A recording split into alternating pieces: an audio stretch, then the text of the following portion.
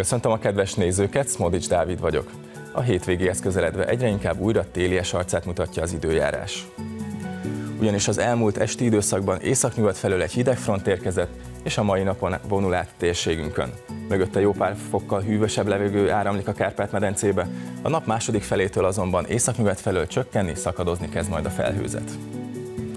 Tehát kezdetben még Kárpát-medence szerte erősen felhős vagy borult lesz az ég, és több felé kialakult csapadék. A nap második felétől aztán északnyugat felől csökken, szakadozik a felhőzet, és a csapadéksáv is egyre inkább keletebbre tolódik, és ott is szűnik majd. Jellemzően nulla fok fölé emelkednek a csúcsértékek, és erős lesz az északnyugati szél is.